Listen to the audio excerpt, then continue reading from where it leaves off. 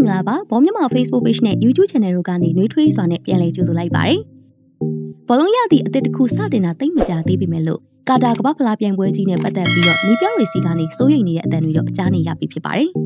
ကစားသမားတွေကအခုကလေးကကမ္ဘာဖလားအတွက်အတော်လေးအာရုံစိုက်နေကြပါပြီ။သူတို့အနေနဲ့ပုံစံကောင်းရဖို့နဲ့သူတို့ကိုသူတို့ဂရုစိုက်ဖို့ရှိနေရမို့ဒါကကောင်းပါတယ်။မကောင်းတဲ့ချက်တစ်ချက်တော့ရှိပါတယ်။အဲ့ဒါကသူတို့တွေကအသင်းအတွက်မဟုတ်ပဲကမ္ဘာဖလားကိုပဲအာရုံစိုက်နေကြတာမျိုးပေါ့။ သူတို့တွေကအခုကလေးကနိုဝင်ဘာအကြောင်းတွေးနေကြပြီလေဟုတ်ကဲ့ဒီစကားတွေကိုတော့ Chelsea နီးပြ Thomas Tuchel ကပြောပြတော့ခဲ့ရပါ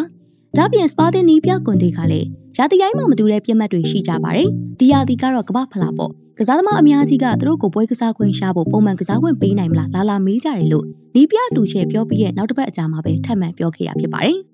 ကာတာကမ္ဘာဖလားပြိုင်ပွဲကြီးကရက်တရာနီးပါးလောက်လိုပါသေးတယ်ပုံမှန်အဖြစ်ဆိုရင်တော့ဒီပြိုင်ပွဲကြီးဟာဇွန်ဇူလိုင်လမှာကျင်းပတာပါ ဒီတစ်ခါမှာတော့ကာတာနိုင်ငံရဲ့အပူချိန်ကြောင့်မို့စောင်းတွင်းကာလဖြစ်တဲ့နိုဝင်ဘာလမှာစတင်ကျင်းပသွားမှာပါ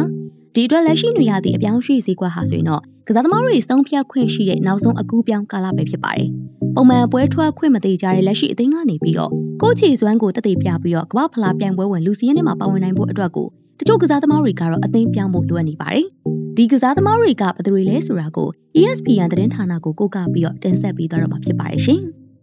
ကမ္ဘာဖလားဝင်နှွဲခွင့်ရဖို့အတွက်အသင်းပြောင်းတင်နေတဲ့နာမည်ကျော်ကစားသမားတွေထဲမှာ Chelsea အသင်းက၄ဦးရှိလို့နေပါတယ်။သူတို့တွေကတော့ Pulisic, Hudson Odoi, Galata နဲ့ Marcos Alonso တို့ဖြစ်ပါတယ်။ Chelsea အသင်းဟာတိုက်စစ်ပိုင်းမှာအပြောင်းလဲတွေပြင်းထန်နေပါတယ်။အာကိုတကြီးခေါ်ယူထားခဲ့တဲ့လူကာကူနဲ့တီမိုဖာနာတို့ကိုအသင်းကနေထွက်ခွာခွင့်ပြုထားပြီးတဲ့နောက်မှာမန်စီးတီးအသင်းကနေ Raheem Sterling ကိုပြန်လည်ခေါ်ယူထားခဲ့ပါတယ်။ဒါပြင် Everton အသင်းရဲ့ Anthony Gordon နဲ့ Barcelona ရဲ့ Aubameyang တို့ကိုလည်းခေါ်ယူနိုင်ဖို့ကြိုးစားနေပါတယ်။ ဒါကြောင့်ပရီးမီးယားလိပွဲဦးထွက်နှစ်ပွဲမှာအရန်ခုံမှသာထိုင်နေခဲ့ရပြီးတော့နှစ်ပွဲပေါင်းမိနစ်30သာကစားခွင့်ရရှိခဲ့တဲ့ဖူလီစစ်အနေနဲ့ကတော့တိုက်စစ်မှုကောင်းကောင်းမရှိတဲ့အသင်းမှာအရန်ကစားသမားဆက်ဖြစ်နေခဲ့ရတာဖြစ်ပါတယ်။ဒါကြောင့်သူ့အနေနဲ့ကမ္ဘာဖလားမှာပုံစံကောင်းပြသနိုင်မှုအတွက်ဆိုရင်တော့ပုံမှန်ကစားခွင့်ရရှိဖို့လိုအပ်နေပါတယ်။သူ့ကိုခေါ်ယူဖို့အတွက် Manchester United ကစိတ်ဝင်စားနေတယ်လို့ Newcastle, Juventus နဲ့ Atletico Madrid အသင်းတို့ကလည်းစောင့်ကြည့်နေကြတာမို့ သုံးလတာလိုတော့တဲ့ကမ္ဘာဖလားကြီးမတိုင်ခင်အခုနေရာဒီမှာပဲပုံမှန်ပွဲထွက်ခွင့်ပေးနိုင်တဲ့အသင်းတစ်သင်းထံပြောင်းရွှေ့တင်နေရဖြစ်ပါတယ်။နောက်ထပ်တောင်ပန်ကစားသမားတအုပ်ဖြစ်တဲ့ Hawson O'Dwyer ဟာလည်းပူလီစစ်လိုမျိုးချဲစီးအသင်းမှာကြုံတွေ့နေရတာပါ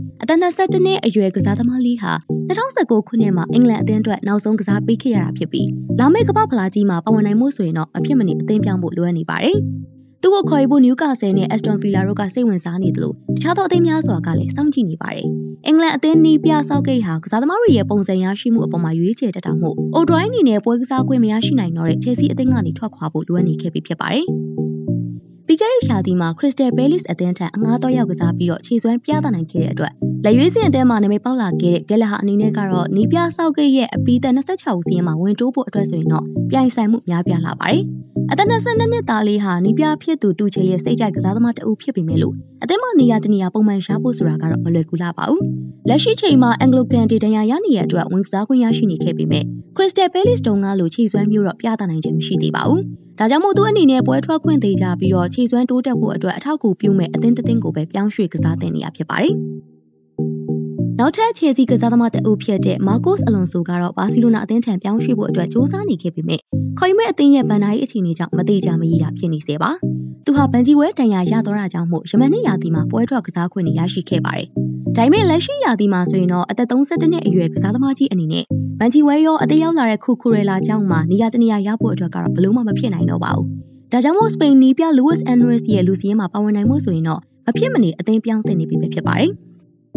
ကမ္ဘာဖလားပြိုင်ပွဲကြီးမှာဝင်ရောက်ရှင်ပြိုင်ခွင့်ရရှိဖို့နဲ့ပုံစံကောင်းရရှိနေစေဖို့အတွက်အသင်းပြောင်းတဲ့နောက်ထပ်ကစားသမားတအူးကတော့အီဒန်ဟာဇက်ပါ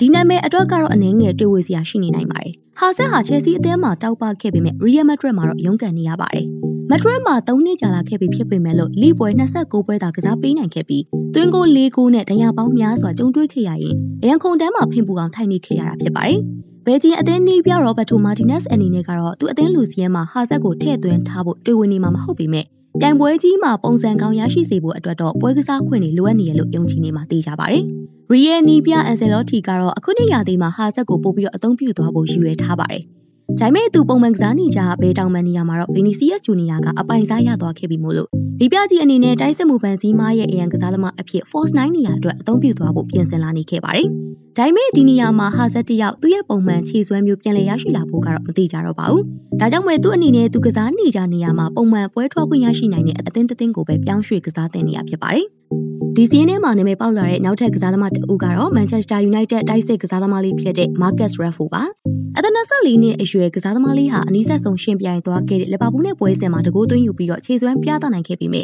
ပြီးခဲ့တဲ့ရာသီကတော့ပုံမှန်ပွဲထွက်ခွင့်ပျောက်ဆုံးခဲ့ပါတယ်။ပြီးခဲ့တဲ့ရာသီမှာ United တို့အတွက်စုစုပေါင်း32ပွဲသာကစားခွင့်ရရှိခဲ့တာကြောင့်မက်ချ်လာအတွင်းမှာရှင်ပြိုင်ကစားခဲ့တဲ့အင်္ဂလန်အသင်းရဲ့လူစင်းကနေချန်လက်ခံခဲ့ရတာဖြစ်ပါတယ်။အဲဒီကာလကနေ9လကြာခဲ့ပြီဖြစ်ပေမဲ့ဒီအချိန်တွေနဲ့တူညီနေတဲ့အနေအထားမျိုး Raffo မှာကြုံနေရပါသေးတယ်။ လက်ရှိချိန်မှာသူ့ကိုခေါ်ဖို့အတွက် PSG အသင်းကစိတ်ဝင်စားနေခဲ့ပေမဲ့သူ့အသင်းကတော့ထွက်ခွာခွင့်ပြုမှာမဟုတ်ဘူးလို့ဆိုထားပါတယ်။ဒါပေမဲ့လက်ရှိအနေထားအရဆိုရင်တော့သူဟာနီးပြတဲ့တန်ဟက်လက်အောက်မှာနေရာတနေရာပြင်ရလာနိုင်တဲ့အတွက်အသင်းသေးပြောင်းဖို့ကတော့ချင်းချင်းစဉ်းစားသွားရတော့မှာဖြစ်ပါတယ်ရှင်။ဟုတ်ကဲ့ပါထပ်မံပြီးတော့2022ခုနှစ်ကာတာကမ္ဘာဖလားပြိုင်ပွဲကြီးဝင်ရောက်ဆင်နွှဲခွင့်ရရှိဖို့အတွက် အသင်းသက်တည်ရှာဖွေတင်နေတဲ့တခြားသောနာမည်ကျော်ကစားသမားတွေကတော့စပါတင်ကစားသမားတွေဖြစ်တဲ့ဆာဂျီယိုရီကိုလွန်အန်တိုဘီလီနဲ့လက်စတာအသင်းကစားသမားဖြစ်တဲ့ဗက်စတာကာတို့ပဲဖြစ်ပါတယ်လို့ပြောရင်းနဲ့ဗီဒီယိုလေးကိုအဆုံးသတ်လိုက်ပါတယ်ကြည့်ရှုပေးခဲ့ကြတဲ့သူများအားလုံးကိုကျေးဇူးတင်ပါတယ်ရှင်